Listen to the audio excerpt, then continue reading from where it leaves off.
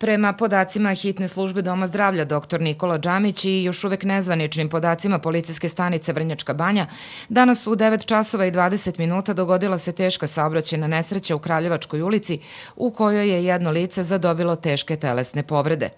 Prema rečima doktorke Ivane Ilić, koja je sa ekipom hitne službe stigla na mesto nesreće u 9 časova i 20 minuta, zatekli su NN lice starosti 29 godina da leži u dvorištu u Kraljevačkoj ulici desetak metara dalje od mesta nesreće sa vidnim teškim telesnim povredama.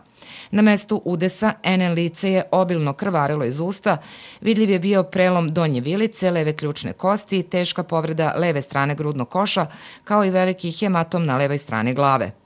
NN lica u polusvesnom stanju hitno je preveženo u kliničko-bolnički centar u Kraljevu, gde je smešteno na intenzivnu negu. Diagnostika je u toku.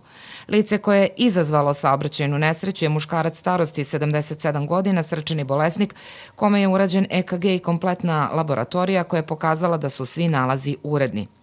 Muškarac starosti 77 godina upravljao je vozilo marke Ford Fiesta, registarskih oznaka VB 017 AR Kraljevačkom ulicom iz pravca Pijace. Povređeno, NN lice kretalo se trotoarom u istoj ulici.